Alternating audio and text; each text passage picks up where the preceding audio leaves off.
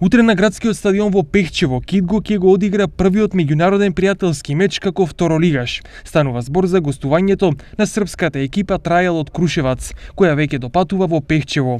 На утрешниот надпревар нема да се појават Марич, Глигоров и Тонев поради повреди. Инаку неделава Китго се засили со уште двајца нови играчи. Никола Ристески од Велешкиот второлигаш борец и со Филип Неделковски од Македонија Ѓорче Петров. Утрешниот надпревар е со почеток од 16 часот. Последниот пријателски меч Пехчевци го закажаа за 25-ти, кога ќе се сретнат со екипата на Борец.